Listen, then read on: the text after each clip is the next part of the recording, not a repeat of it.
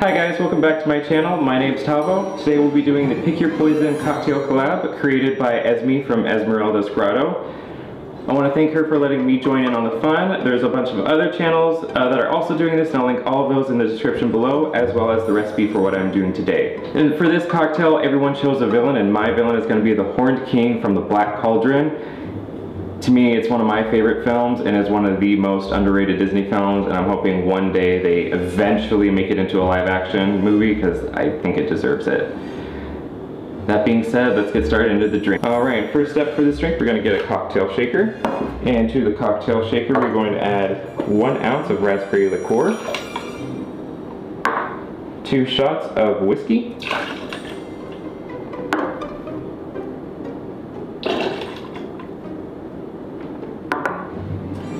and we're going to be taking some pomegranate juice and that straight in. It's going to be half a cup. And we're going to do a little bit of drizzle of maple syrup. That works. And the juice of one lemon.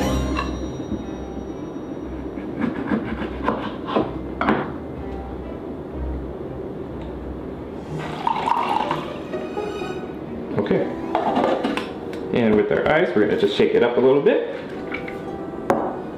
Get ourselves a nice glass goblet. It. Just pour that in. Now I did double the recipe because I wanted to fill this glass as much as I can, so that came out perfect. So now we got a nice like blood red color that kind of represents his robe. But I want to also represent the black cauldron itself. So I have this cotton candy here that I made that has a little bit of magic in it. I'm just going to give this a little swirl.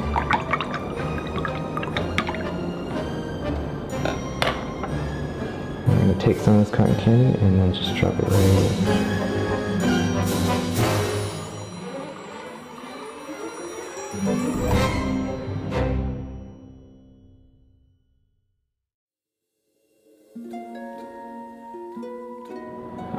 Right, and that is the Horn King's drink. Let's give this a try.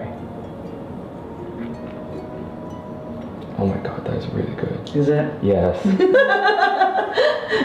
Thank you again to Esme for letting me join in on this fun. Thank you to Disney Nessi, who is also here, who let me use your kitchen Yay! for this. Uh, please subscribe, like, uh, stay tuned for more videos.